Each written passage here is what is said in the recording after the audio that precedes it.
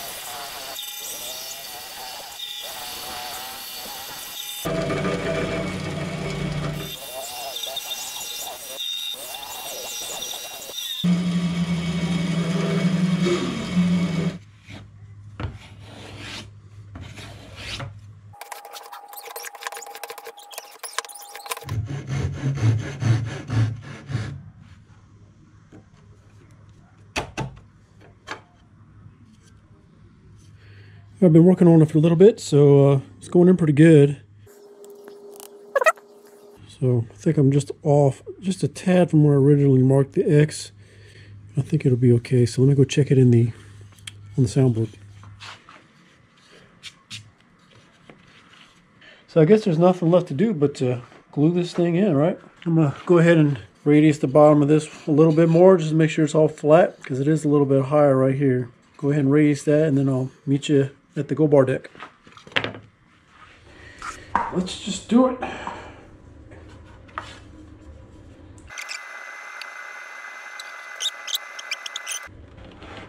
Oh, jump sliding everywhere. Good grief. All right, let's get glue on this real quick, quick like. Golly, tell you. oh my goodness better get in there. You better get in there. What in the world? Oh, I'm not lined up. There. Feeling good. Feeling good about it. I got this feeling inside my bones. Feeling pretty good. Feeling pretty good about it. Can't complain. And uh, and I get I don't know if I commented about this, but I did move this go bar deck. I had to move the go bar deck into my humidity controlled room so that I could do this glue up. I don't want to do a cross grain glue up like this in the garage where it's higher humidity. From what I understand, doing cross grain glue ups like this need to be done in a humidity controlled environment at around 45-50%, which is kind of right in between the two extremes. Let's go ahead and get this thing glue cleaned up everywhere. All right, let me finish up with this. Yeah, that's all I'm doing for the next few minutes anyway. So, so I'll see you in, in a minute.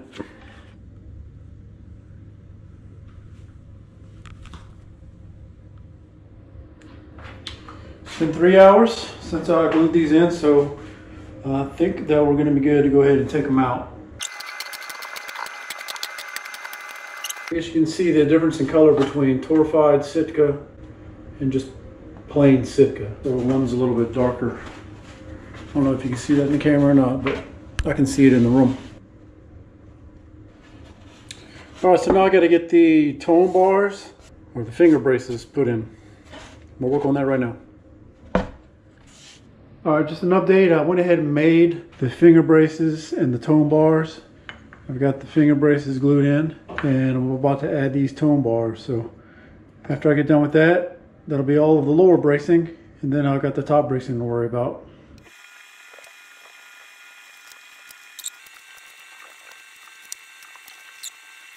All right, let me work on this, get this other one put in and I'll catch back up. Tone bars are in. All that's left is the upper bracing, the upper transverse bar and the tongue depressor, sound hole bracing. Feeling pretty good right now. I'm gonna wait till later, take this off, and then I'll uh, move on to the next part.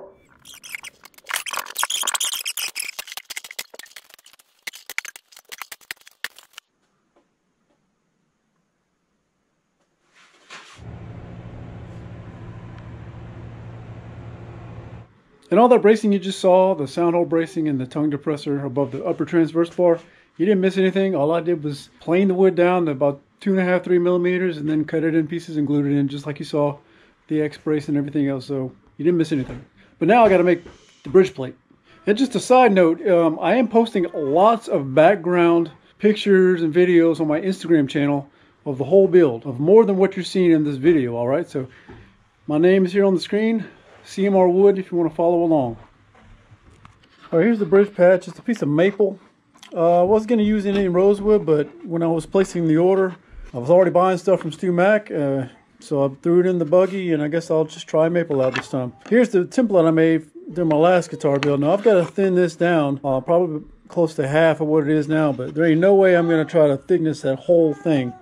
So I'm just going to kind of cut out a little piece that's a little bit bigger than the template, so that all I got to do is just thickness that one little piece, and it'll be easier to do so about there, about there. Then I can cut this out and then get it glued in.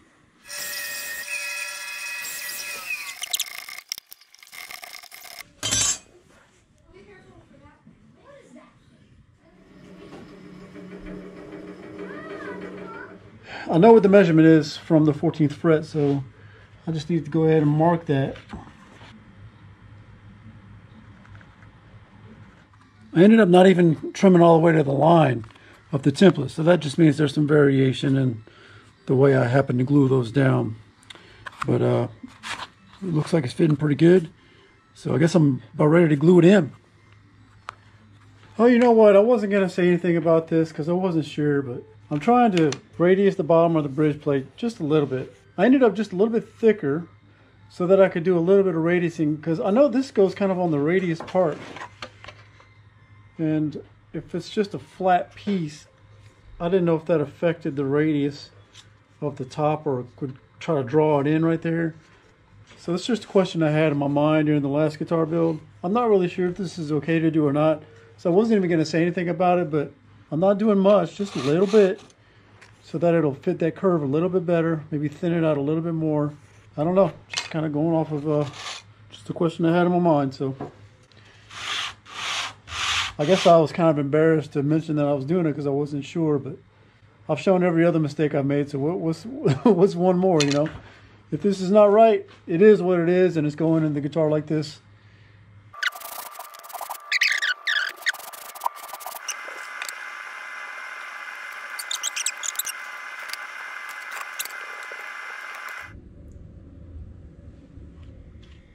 So I've been on vacation for the last week, and while I was on vacation, I was just thinking about all this stuff, you know, thinking about what I wanted to do next. You know, I'm, I'm getting to the point where I want to close the box, get the back done, close the box.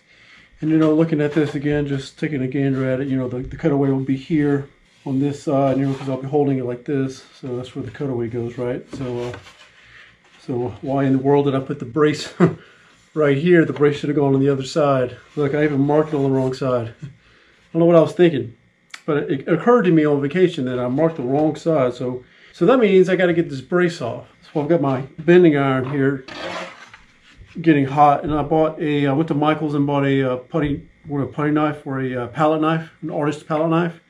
So I'm gonna try to heat this thing up and uh, try to remove a brace. So let's do it. You know, I really hope I don't mess this up. Um, really, the only reference I have for this is Jerry from Rosa String Works. I'm just placing this palette knife on top of the bending iron to get it hot. And uh, I don't know how hot it needs to be. I'm going to place it on there for a little while. And uh, I've watched him remove enough braces on his video, so I'm hoping it goes kind of the same. I'm not sure if it will. Okay, hey, it's already starting to go on there. Look at that. Look at that. Look at that. All right. I'm just going to keep doing this and hope it works out. Just keep on working on this. I feel I, tear, I hear tearing. I hope I'm not like ripping up fibers from the Sitka. I, I would really hate to lose this top. I really would. Oh, there we go. Right through the through the brace. Okay, so I'm not really getting it underneath. I'm more or less just broken into the middle of it. I gotta be careful because I don't want to like pull up on this and then pull up some of the Sitka with it. Oh my gosh. I don't know if you can see that, but I do have a lot of it up. I mean, it's all the way up. All through here. Was not expecting this. Was not expecting this.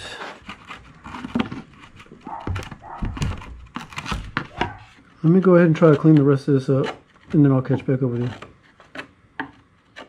Oh, you can see what I've done. I'm not happy perfectly with the result. I mean, you can see where I accidentally ripped up some uh, Sitka spruce there. So definitely not perfect. I need to do some more scraping right here with a razor blade to get some of this off. And over here, but uh, I don't know.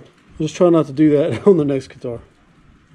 All right, it's been a few days and you can see I got it moved over. So I made a whole nother brace.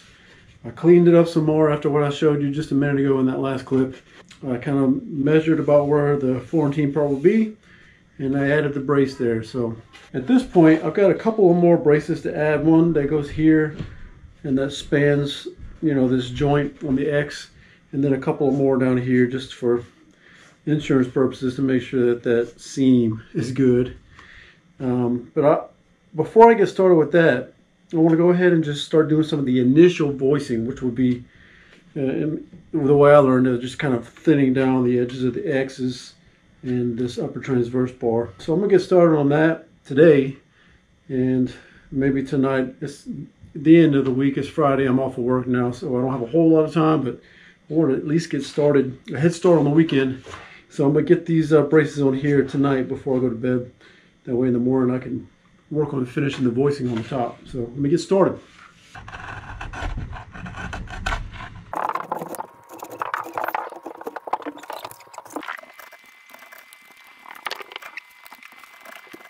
Wow!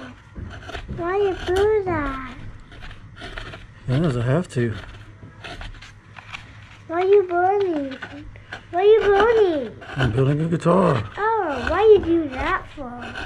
I have to voice it. It's got a voice, like you. Why? Why you do these? Why you got pop popsicle?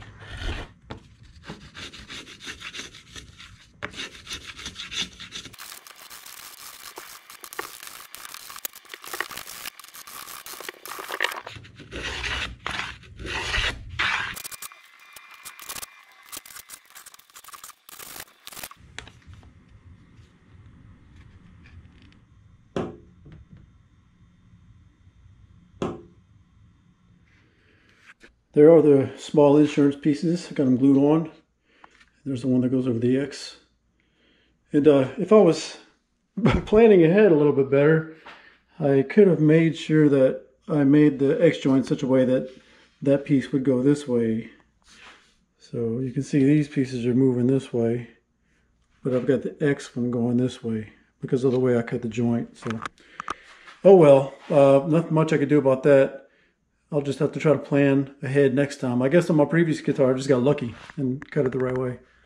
Check this out. I'm working on getting these down to about the thickness of a veneer. I'm almost there with this one. I got this one done, but last time I just used my chisel to get in between them. But I've got this other plane now from Lie-Nielsen, this little small violin maker's plane. And it fits right in between these two braces, so it's kind of nice. So I'll be able to use this to thin that down instead of having to do some sketchy stuff with my chisel. I didn't have this on the last build, but I've gotten it since then, and I like it. Here's how it looks so far. Um, I mean, the tone sounds good. I, you know, this is only my second guitar, so I'm not really sure where to stop. And I don't want to go continue going thinner and thinner on these scallop parts. So, because they have to support a lot of a lot of uh, tension. So I may stop right here and just kind of you know sand everything down. That'll take off a little bit more of the height of them too. So I've done the best I can do with the knowledge that I have and the experience that I have. I think I'm at least good to go for now. And just one comment. I don't know if anybody else has experienced this, but I guess after pushing for so long on this chisel, uh, my thumb starts to go numb. I remember this happening on the last guitar. So I took a break and then I came back to it and it went numb a lot faster than it did the first time. I went for about maybe 30 minutes before my thumb started feeling numb the first time. So does anybody else experience that? I hope it's not just me. Taking a little break from the soundboard before I start sanding and uh, figured I might as well start on the headstock and maybe at least get the shape cut out, get the holes uh, drilled and stuff. So this is the previous guitar's headstock shape and this is the one for this guitar. So what I did was I just basically thinned up the top a little bit and I brought up this point up higher than on this one. Uh, just I thought this was a little too chunky looking so I've just slimmed it up just a little bit. So a little bit different, not insanely different. But what I've done is I've cut a shape into the back of here so that I can put that on my headstock, or sorry, on the neck, uh, double stick tape it and then cut it out. So I'm to go ahead and do that.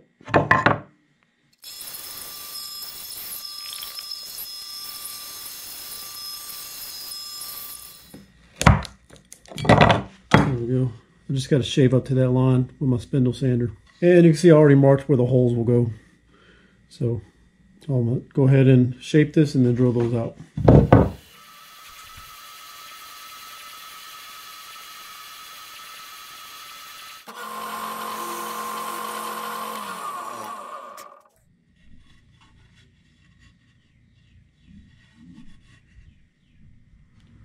Gonna go ahead and call it here. I can't remember exactly all where this video started and where it ends. You just watched it, so uh, I think I cut it off after the rosette last time. And um, I just got all the braces put together for the top. I got the top voice pretty much, and I've got the headstock done. So I feel pretty good. Some pretty good progress. Um, still waiting for my drum sander. The drum sander I told you about last week, or sorry, in the last video, I still have not received it. It's been almost two months.